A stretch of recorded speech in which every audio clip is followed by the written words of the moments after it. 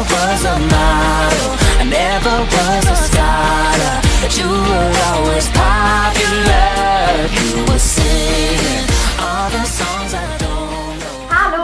Ich habe euch vor einigen Tagen dieses Foto von meinen Haaren bei Instagram gepostet und gefragt, ob ihr dazu ein Video sehen wollt. Und super, super viele wollten das unbedingt sehen und haben mich gefragt, welchen Lockenstab ich verwendet habe und wie ich das gemacht habe und welche Produkte ich verwendet habe. Und deswegen dachte ich mir, ich zeige euch heute meine Haar- und Styling-Routine zu diesen Loose Curls und vor allem auch, wie ich es schaffe, dass die Locken ein bisschen länger halten. Denn das, was ihr heute seht, ist nämlich der zweite Tag und ich finde, es ist eigentlich ja, immer noch ganz schön. Es hat ganz gut gehalten und vor allem, ich finde es eigentlich auch ganz cool, wenn es sich ein bisschen ausgehangen hat und vielleicht nicht mehr ganz so perfekt aussieht wie am ersten Tag. Und dieses Video ist eine Kooperation mit der lieben Nathalie Celine. Ihr Kanal heißt Beauty Profi und ist natürlich unten in der Infobox verlinkt, genauso wie ihr Video, denn sie zeigt euch ihre Haar- und Styling-Routine für glatte Haare und das Video findet ihr auch nochmal am Ende meines Videos verlinkt.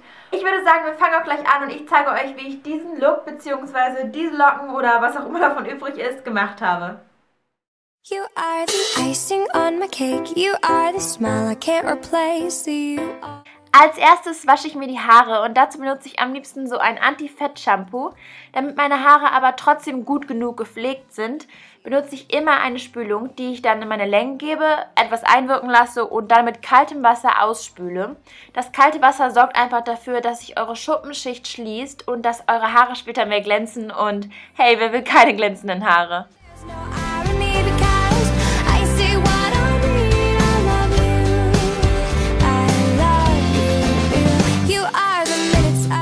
So, nachdem ich meine Haare für einige Minuten in meinem Handtuch antrocknen lassen habe, benutze ich meinen Tangle Teaser und damit ich später ein bisschen mehr Volumen in meinen Haaren habe und die Locken ein bisschen besser halten, benutze ich so einen Lockenschaumfestiger, den man übrigens immer gut schütteln muss und wie man sieht, macht das sehr, sehr viel Spaß. Und ja, den gebe ich einfach ein bisschen in meine Haare, massiere das Ganze so ein und dann fange ich auch schon an, meine Haare glatt zu föhnen. Und dabei achte ich darauf, dass sie so glatt wie möglich werden, weil das einfach die beste Grundlage ist, mit der Locken zu machen. Und ja, ihr könnt natürlich eine Rundbürste nehmen oder so wie ich meinen Tangle Teaser. Da die Locken sowieso viel, viel besser halten, wenn die Haare nicht frisch gewaschen sind, wasche ich mir abends die Haare, schlafe dann einmal und tada, kann dann am nächsten Tag anfangen, mir Locken zu machen. Und dazu muss ich mir immer als erstes die Haare kämmen, weil ja, die nachts einfach total zerzaust sind. Und ganz wichtig ist es natürlich auch immer ein Hitzeschutzspray zu verwenden, damit einfach die Haare ein bisschen geschützt sind. Das sollte man eigentlich auch vor dem Föhn machen, das habe ich leider vergessen. Aber ansonsten fange ich nämlich dann an, meine Haare abzuteilen in unterschiedliche Partien. Einfach damit es leichter ist, Locken zu machen, ich keine Haare vergesse und auch nichts irgendwie so im Weg ist und stört. Und dann fange ich auch schon mit der ersten Strähne an. Die wickel ich einfach so um meinen Lockenstab. Der ist jetzt hier von Schwarzkopf. Den kann ich eigentlich schon empfehlen, aber es gibt definitiv genauso gute für einen günstigeren Preis.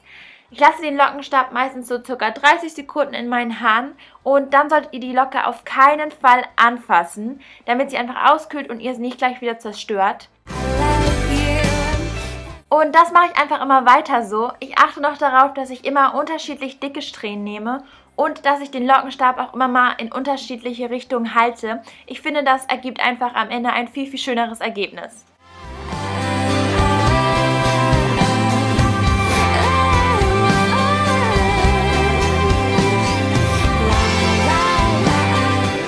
Wenn ihr dann alle Haare gelockt habt, dann solltet ihr sie trotzdem noch nicht anfassen, sondern weiter auskühlen lassen. Und in der Zeit mache ich dann meistens irgendwelche Snapchats, Instagram-Fotos, bin auf WhatsApp oder auf Twitter oder so. Und dann fixiere ich meine Haare noch mit einem Haarspray, einfach damit die Locken ein bisschen länger halten. Und dann könnt ihr die Haare natürlich so lassen, das wäre jetzt so der erste Look. Da sind die Locken noch relativ stark und das finde ich auch sehr schön. Aber das zweite, muss ich sagen, gefällt mir noch ein bisschen besser. Dazu gehe ich einfach mit meinen Fingern ein bisschen durch die Locken und locker das Ganze so ein bisschen auf, wusche so ein bisschen durch und dann sieht das Ganze so ein bisschen mehr messy aus, aber trotzdem sind diese Locken da und hat ein bisschen mehr Volumen und ich finde das ein bisschen cooler. Und was ich dann noch gerne mache, ist ein Haaröl zu benutzen. Das könnt ihr natürlich auch vorm Locken machen schon benutzen, aber ich mache das gerne danach und versuche dabei natürlich die Locken nicht zu zerstören, sondern es einfach nur so in die Spitzen zu geben. Und et voilà, so sieht dann das Endergebnis aus.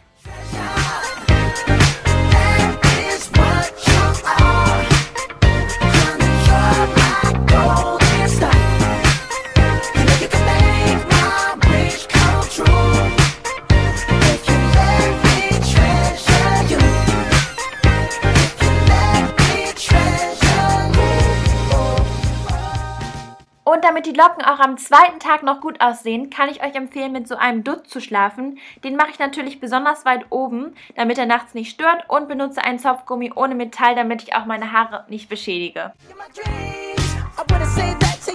Ja, das war jetzt meine Haar- und Styling-Routine für diesen Lockenlook. Ich hoffe sehr, dass es euch gefallen hat und dass meine Tipps, die ich euch gegeben habe, hilfreich waren. Und ich habe schon mal ein Video zu meinen Haaren gemacht, wie ich sie so lang bekommen habe, was so meine tägliche Haarroutine ist, beziehungsweise ob ich meine Haare färbe und wie oft ich sie schon gefärbt habe. Und da seht ihr auch so meine Haargeschichte und Haarentwicklung mit ganz, ganz vielen Fotos, mit Vorher-Nachher-Bildern. Und da seht ihr, welche Produkte ich verwende und ich zeige euch auch meine Tipps für lange, gesunde, unglänzende Haare. Also, falls euch das interessiert, dann schaut auf jeden Fall mal unten in der Infobox vorbei, denn da verlinke ich das Video. Und mich würde jetzt total interessieren, was ihr eigentlich schöner findet, Locken oder glatte Haare und was ihr von Natur aus habt, weil man sagt ja ganz oft, dass man das haben möchte, was man eigentlich nicht hat. Und bei mir ist das eigentlich auch so ein bisschen so. Ich habe so frizzige, lockige Haare und hätte ganz oft am liebsten glatte oder halt richtige lockige Haare, aber so ein Zwischending ist irgendwie manchmal nervig. Und ähm, ja, mich würde interessieren, ob das auch bei euch so ist. Und ähm, dann würde ich mich freuen, wenn wir uns beim nächsten Mal wiedersehen. Ciao!